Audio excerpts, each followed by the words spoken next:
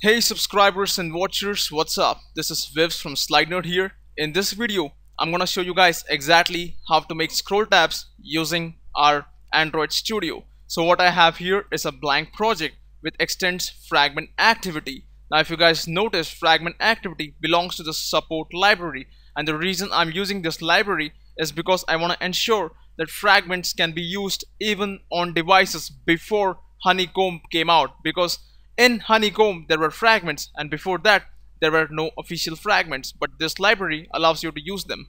So let's see how to make scroll tab. The first thing if you guys remember from the last video step 1 create three fragments. I'll show you guys exactly how to create one of the fragments. From there we can replicate the process for creating the other fragments right so in the fragment A extends fragment now here again there is fragment and there is fragment make sure that you extend the android.support.v4.app.fragment because you cannot mix things up. Either use fragment from the support library or you use it from the new API from everywhere in your app. And then go to layout here right click new say layout resource file. I'm gonna create the appearance for our fragment underscore a. Its root layout is gonna be a relative layout as you guys notice the layout has been fully initialized. If you go to the text tab there's a relative layout. So let me just do a simple thing like dragging a big text over here and putting it right in the middle of the screen stretching it all the way. Going to the text tab and I'll simply say this is fragment A. And not only that I'm also gonna give you give this thing a nice color by giving this a background saying hash FFCC00 which happens to be one of my favorite colors and last but not the least a little margin on all four sides by saying 16 dp now let me replicate this and create two other fragments the same way. But before that let's go to fragment A and link this layout which we just created with the Java class. For that I'll use the on create view method. And here I'm gonna go down and simply say inflater dot inflate. If you guys are not sure about the layout inflater please go back to my other videos and check out how the layout inflater works because there I have covered this in full detail here it's way too many things to explain so I'm not gonna be doing that completely and this completes the part about linking our appearance so let's go and repeat this two times for creating fragment B and fragment C. So at this point I have created three fragments A, B and C and have the three layouts. Now each of them have a very small difference. They just have a different background color. So now there comes the main part about creating some view pager that is going to switch between A, B and C. In other words, we want to treat fragment A, B and C as pages and swipe between them.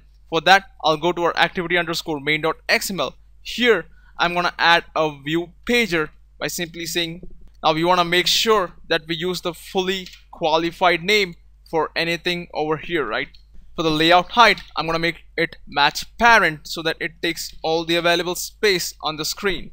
So at this point my view pager has been fully created with the height and width of match parent. I've given this an ID because in Java code we are gonna get this pager and perform the actual work of switching between the different fragments. And here there's an XML in this Android because obviously this is the root uh, view that we have here on our screen so let's go back to our main activity and try to get this view pager by saying view pager. Now at this point everything is done. Now remember the view pager uses an adapter to move between the different data items. So let's actually construct an adapter. I'm gonna say class my adapter. Now this adapter can either extend fragment state pager adapter or fragment pager adapter. Now you guys are probably wondering what is the difference between both. First, let's work with the fragment pager adapter and then we'll discuss what is the difference between both of them. And as you guys notice, this adapter has certain methods. I'm gonna press Alt Enter, implement the methods, click OK.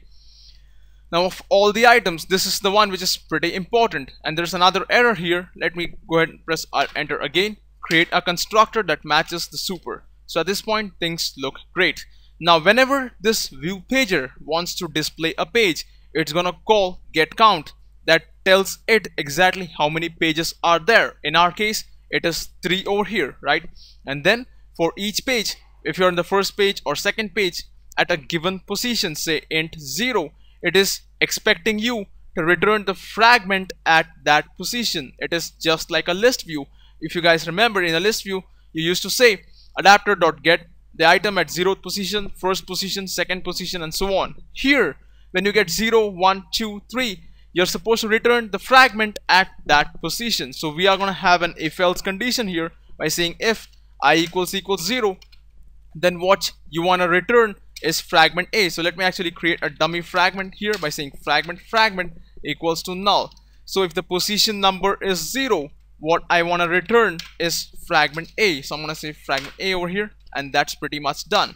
Let me replicate this for the other two fragments that we have. So as you guys notice here in the get item method for the zeroth value of i, I return fragment A. For 1, I return B and for 2, I return C. And if nothing works probably it's gonna be a null over here but this case rarely happens. So next let's talk about something else. There is another method that we need to override if we want to give titles. But for now let's just run this. But before that let's set the adapter by saying view pager dot set adapter and passing our object over here which is new my adapter there's a fragment manager object that is required by your my adapter so let's get that fragment manager first by saying fragment manager. Now you want to make sure that it's the android.support.v4.app fragment manager and then we can say fragment manager is get support fragment manager and simply pass that fragment manager object inside and we are good to go. So let's run this. Now remember every time the view pager wants to display something it's gonna call the get count to get the number of items there. And it's also gonna call get item. If you guys want to see this in action let me actually put a log.d statement here for you guys. So now I have a log.d statement here eh, which will be shown when the get item method gets called. And same for the get count. So let's run this here at the top and try to see what happens. So folks there our emulator is running and at this point you don't see the scroll tab at the top but don't worry we'll put it shortly. But now if you try to swipe here on the screen there you go. It says this is fragment B. And again if you swipe here it says this is fragment C. So let's try to see the logcat so let's see how things work. As you guys notice fragment A is first loaded. Before that our view pager calls get count many times. And it also calls get item at position 0 which is our fragment A that is what we return here inside our if else condition. And then if you guys notice if I just swipe the tab over here just notice how many times get count is called. And then somewhere here get item 2 is called which is nothing but our fragment C. Now this is a little smart mechanism. When you are at fragment C it actually loads fragment B and fragment D if there is one just one before and one after in advance so that it doesn't have to load. Now again if I go back here from fragment C to fragment B take a look get count is called a lot of times. And then I go back here to fragment A. Again, get count is called a lot of times, but notice something, get item is not getting called. And the reason because that is once the fragment object has been constructed here, it is not completely destroyed.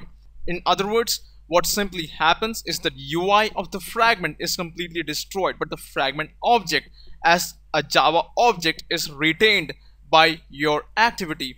And that is why when you switch across these different fragments, you don't see the get item being called anymore. It was called only in the beginning when it had to display the things for the first time. 0 1 and there is 2 over here somewhere. So you guys can clearly see how your fragment pager adapter is creating all the fragments just once and it is not calling get item after that so in this video I have shown you guys exactly how to create that swipe view which we wanted in the next video, I will add the tab at the top of this swipe view and I will also show you the difference between fragment pager adapter and fragment state pager adapter. In the meantime, if you guys do like what you saw, please subscribe to our channel. Let us know your thoughts in the comment boxes below. Like and share this video. Thank you for watching. I'll catch you guys in the next video. Have a nice